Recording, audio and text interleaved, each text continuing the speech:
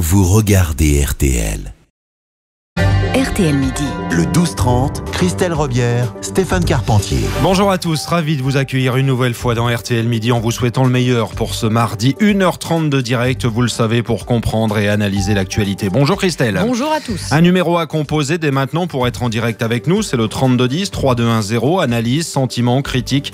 Également sur la page Facebook RTL, les auditeurs ont la parole. L'actualité Christelle, c'est le Tour de France cycliste 2018 dévoilé. Et la France sera coupée en deux avec une grosse séquence dans le nord-ouest et l'autre dans le sud, plus abrupte. Une étape Rennes, 65 km dans les Pyrénées. Détail à suivre.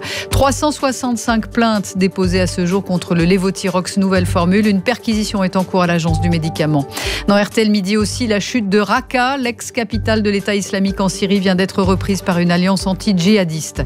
Le TGV n'est pas un omnibus. Pour rendre les lignes rentables, il faudrait réduire le nombre de gares desservies. C'est l'une des pistes de travail du gouvernement. Dites-nous ce que vous en pensez au 3210. Nos ados accros des écrans, 20% des, France, des parents évaluent à plus de 10 heures par semaine le temps que leur progéniture passe sur Internet. Alors comment les encadrer sans avoir l'air de les surveiller? Nous attendons vos conseils, votre vécu au 3210. La météo, bonjour Patricia Charbonnier. Bonjour. Un dernier petit tour et l'été s'en va. Oui, c'est encore très ensoleillé cet après-midi et chaud dans le sud-ouest jusqu'à 28 degrés à Biarritz, 27 à Bordeaux, 26 degrés à Lyon, 23 degrés à Paris et Nancy, 22 à Montpellier, 19 degrés à Lille, mais la dégradation n'est plus très loin avec déjà de la pluie. Cet après-midi sur la Bretagne, il une forte baisse des températures. On attend seulement 13 degrés à Brest, quelques pluies également près du golfe du Lion et ces pluies vont se renforcer à partir de demain. Et ça bouge dans le ciel. Patricia revient juste avant 13h. Après 13h, un jour sur la Terre, une histoire signée Jean-Alphonse. Richard à 13h50, le rire avec Laurent Gérard. La question du jour sur RTL.fr concerne les futures sur nos rails. Alors faut-il limiter les TGV aux grandes villes et supprimer des arrêts jugés inutiles par beaucoup? Vous répondez oui à 42%, non à 50%. Il y a un vrai débat. On vous attend, le décor est planté. Les coups de fil au 3210 comme le fait Patrick, auditeur de Paris. Les auditeurs ont la parole sur RTL.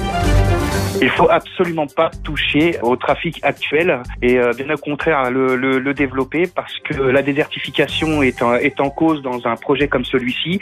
On va encore privilégier les, les grandes villes euh, super bétonnées euh, et bien évidemment bah, ceux qui habitent à la campagne mettront encore plus de temps pour aller d'un endroit à un autre en France ou alors il faudra avoir les moyens financiers de, de prendre l'avion. C'est un projet qui, est, qui à mon avis est scandaleux. Appelez-nous au 3210.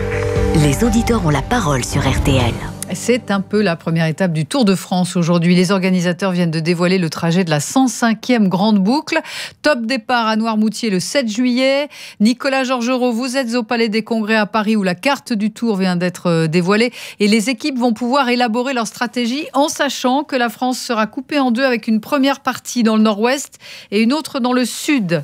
Exactement, sous les yeux de Chris Froome, de Romain Bardet ou encore de Warren Barguil notamment. Le parcours est toujours en train d'être annoncé. Une partie initiale durant dix jours à travers la Vendée, la Bretagne, le centre Val-de-Loire pour arriver à un premier moment fort, l'étape Arras-Roubaix où le peloton devra pour la quatrième fois en dix ans négocier des secteurs pavés empruntés par Paris-Roubaix et en grand nombre en 2018, confirme Christian Prudhomme, le patron du Tour. Les pavés font partie intégrante du Tour de France, qu'il faut effectivement essayer de mettre de l'incertitude. Beaucoup de pavés, près de 22 km, 15 secteurs, c'est-à-dire plus qu'on n'en a jamais mis depuis le début des années 80. Après un transfert en avion, la seconde partie débutera dans les Alpes. Retour notamment au programme d'un classique, l'Alpe d'Huez, mais passage aussi par un chemin en terre sur 2 km au plateau des Glières. Ce sera ensuite Valence, Mende, Millau, Carcassonne et le tour bouclera la boucle par le massif pyrénéen. Une surprise durant cette dernière semaine, une étape en ligne de 65 km seulement qui se terminera au sommet du col de Porté, col inédit à 2215 mètres d'altitude. Ce sera le point culminant de la grande boucle en 2018. Et la veille de l'arrivée finale à Paris, c'est un contre-la-montre de 31 km dans le Pays Basque qui figera les positions au classement général. Nicolas Georges remercie et notez que Christian Prudhomme, le patron du Tour, sera l'invité de Marc-Olivier Fogiel dans RTL Soir. Le Tour sera décalé d'une semaine cette année du 7 au 29 juillet à cause de la Coupe du Monde de football en Russie qui s'achèvera le 15 juillet. En Ligue des Champions, ce soir, Monaco doit absolument battre Besiktas pour rester dans la course à la qualification. La suite de RTL Midi à 12h35, 365 plaintes déposées contre la nouvelle formule du Livotirox, ce médicament destiné aux 3 millions de personnes qui souffrent de problèmes de thyroïde.